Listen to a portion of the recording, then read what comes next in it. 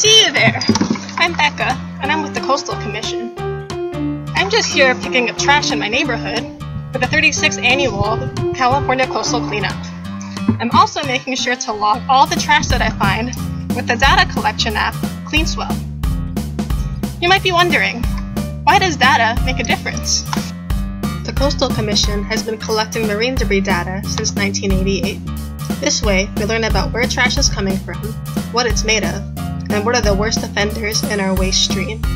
These numbers have been used to make changes in laws and policies in California, including our statewide plastic bag ban, styrofoam food packaging bans in over 80 cities, and new regulations to keep trash out of our stormwater system.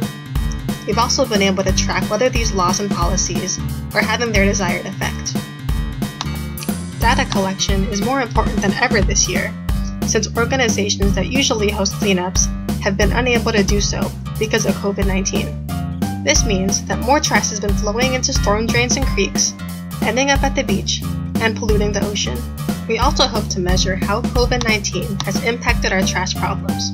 For example, we want to measure the amount of masks, gloves, and other PPE that we find in our environment.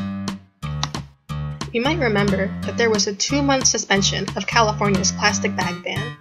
Data can help us find out the impact of the suspension on the environment. Thank you for collecting data during your neighborhood cleanups. This kind of citizen science is an important way that you and your community can contribute to finding solutions to plastic pollution.